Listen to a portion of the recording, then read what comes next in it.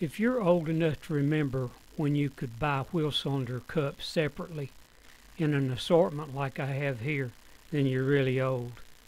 Anymore, you can't buy wheel cylinder cups or kits. You have to buy the whole wheel cylinder. Here are a few tools that'll make it a little bit easier. You can improvise. You don't have to have these. You can do without. When I make a video, I try to make it so simple that even a beginner can understand what we're trying to do here. So experts, bear with me please. I had forgotten to bring my camera to work when I started on this brake job, so the brake job's already done, but uh, I haven't put the wheels and drums back on yet, so I'll give you an idea of what I've done. You'll have to have a really strong impact to remove this rear axle nut. It's 1 in 13 sixteenths. I don't know the metric size, and you can use a breaker bar and a pipe to get the leverage you need to break this loose but I had a real strong impact. You'll need a 6 millimeter Allen wrench to remove that front spindle nut and this of course is the 1 in 13 sixteenths socket with 3 quarter inch drive to remove the axle nut.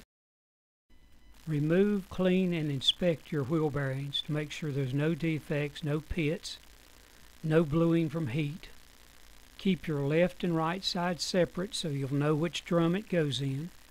And use a high temperature, high quality disc brake wheel bearing grease so that your grease won't thin out and run out all over your brakes.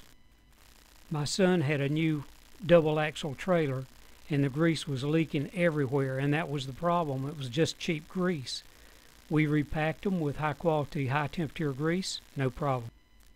If your front wheel grease seals are in good shape, you may be able to remove them without damage, but then again, maybe not. There's a seal removal tool shown at the start of this video. When you have your bearings clean, Repack them by hand, pushing grease into every little crevice of these bearings. This shows the E-clip that retains the speedometer cable through the dust cap on the left front wheel. Some may use a cotter pin, some may use a hairpin clip. As a rule, usually your front brakes will be wider and have a bigger shoe than the rear brakes. Now the rear shoes on this has a hole where the arrow is for the emergency brake lever. Now the reason we're doing the brake job on this 69 VW bus is that you could not lock it down. It would not slide the wheels. And uh, I'm 73. I've done brakes my entire life since I was 15. And I won't use anything but Bendix and Raybestos when I can get it. So it's difficult to tell the quality of lining you have. So I'm replacing all lining with Raybestos. The right rear brake wasn't working at all, and the left one was soaked with uh, uh, brake fluid from a leaking wheel cylinder. All the wheel cylinders were leaking. All were pitted too bad to do anything with, even if you could get kits, which you can't. So we replaced all the wheel cylinders with new ones. This photo shows the left front brake and you can see by the little red arrows the line that connects the two wheel cylinders and that can be very difficult to remove and it's even hard to get to with a tubing wrench so you have to be really careful here and not round them off. Notice that the brake springs go behind the shoes in this photo. The wheel cylinders on the left front are a different part number than those on the right. When you remove the four bolts that holds the wheel cylinders, this entire backing plate, as it is called, will come off the spindle. Now, to be sure that you have the backing plate on the right side, because somebody may have put them on there wrong, you'll find this uh, grease retaining ring shown where the blue arrow is. At the bottom of that ring, there is a little vent hole that allows the grease to drain out. Make sure that little grease drain hole is at the bottom. If it is, then it's correct. The yellow arrow shows a brake inspection hole. I loosened the front brake line, the flex line. I loosened it from the top wheel cylinder shown here. And then I removed the wheel cylinders and just spun them off that flex line. That way I didn't have to uh, loosen the other end of the flex line if you follow what I'm saying. These front and rear shoes on this right here, and by what I mean front and rear, I mean on the front, the front shoe and then the rear shoe on the front. Uh, they're identical in size, but a lot of times you'll find, especially on American cars, you'll have a larger shoe lining at the rear and a smaller on the front. Not so in this case. I think you'll find it easier to remove these wheel cylinders with the connecting line still attached. Take it and put it on your bench and then you can uh, put it in your vise and, and disconnect that line. It's hard to get to. These drums were in good shape. They weren't scored or ridged. Uh, and you see here I've removed the bearings. Clean your hole in your hub out where the bearings go. Clean it out real good. On some vehicles you can knock these bearings out from the front using a wooden, wooden stick or a hammer handle or something like that. And that won't damage the bearings and usually won't damage the seal. But not so in this case. It needed new seals anyway. If your seals are good and you want to save them, on this bus you'll have to take a putty knife or a thin screwdriver and slip it under the edge of the seal and carefully work it out. If you're lucky, you won't damage the seal or the little T90 spring that goes inside that seal. I chose to clean and break the glaze on this drum by sanding it lightly with uh, like 120 paper. On this 69 bus, the front flex hose screws directly into the wheel cylinder. There are no copper sealing washers. Remove and clean your brake adjusters here shown by the blue arrows. Clean them good and lubricate them with high temperature wheel bearing grease. Be sure when you replace your equalizer bar that the bar fits into the slots properly as shown here in the shoes. Be sure that the shoes fit into the slot on the wheel cylinder pistons as shown by the yellow arrows. They fit in a slot. If you have to pull that dust cover back to be sure, do that. If it's in the slot correctly, when you pull on the top of that shoe, pull outward, it won't move. It'll stay in the slot. Be sure that these spring clips are in the proper position as shown here. You don't need a special tool like shown in this video. You can use a pair of pliers. That'll work just as well.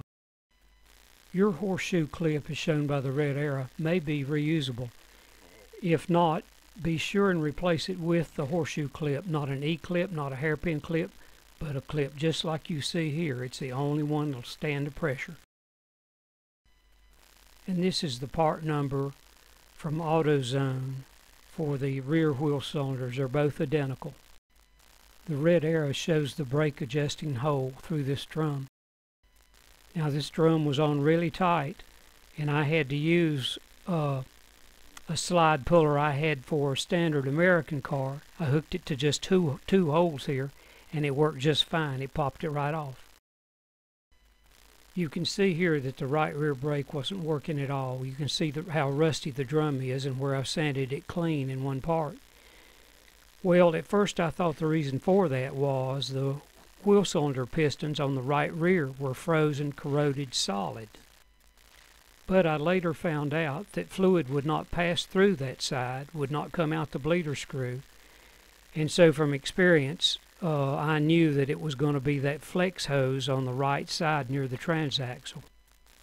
Now in my 65 years of working on cars, and I'm factory trained on GM and Ford, I've run into this flex hose problem several times. A flex hose can come apart on the inside and can act like a check valve, keeping uh, fluid from going through it, but also it can work the other way and keep fluid in the wheel cylinder, keeping the brake on. This nut on the end of this brake line was frozen solid, and I didn't try to heat it or anything. I just used penetrating oil on it, but it would not come loose, so let me tell you what I did. A little trick here, of course, you may want to replace the line. If you don't notice a frozen nut on the line like this, you'll twist that line in two before you realize it. What I did was just break the line loose, Then take the uh, wheel cylinder completely loose from the backing plate and then spin the wheel cylinder off the line. So that works and put it back the same way. There's a clip at each end of that flexible brake lining and they're both the same. You can use a pair of pliers to pull it off or tap it off with a screwdriver and a hammer. And as I said, this flex line was clogged solid. Hold that flex line with, I believe it was a 17 millimeter. Hold that flex line and use 11 millimeter on the line itself, being careful not to twist the line if it's frozen. I kept this line so I wouldn't lose my fluid when I went after a new line. This emergency brake equalizer bar is shown here by the red arrow goes a certain way as shown here and the little clip holds the spring that goes to the shoes. Be sure that you have that right and that it fits in the right slot. And of course here's the new flex hose and clips installed. And don't forget to check your master cylinder actuator rod to make sure it's adjusted properly. Take out all free travel Loosen the lock nut and push the boot back and hold the rod with a pair of vice grips and you can adjust that rod to take all free travel out. You don't want to have that uh, master cylinder piston pushed in at all so adjust it carefully. You have to take the bleeder screw out on this to get to that uh, line nut. It's that close. And this photo just shows how your brake shoes should look in the adjuster and how the uh, return springs go. With the wheel and tire on this vehicle, you can see the adjustment hole through the drum for the star wheel. And I see I've got another job coming up. Going to have to replace some boots on these axles.